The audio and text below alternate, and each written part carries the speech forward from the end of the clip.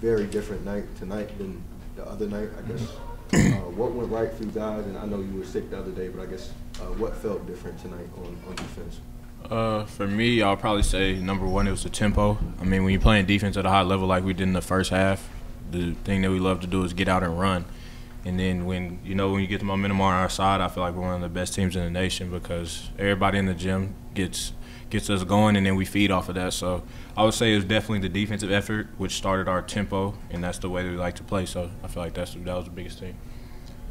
Uh, I think we were just a little more locked in in practice and leading up to the game this time. I think we kind of weren't necessarily like overlooking anybody, but I think there was just like a little bit of wake up call on Monday. Like let's let's be locked in for this one and have a good game, because I don't think any of us were really too happy with how we played on Monday, so I think it was just a good bounce back for us.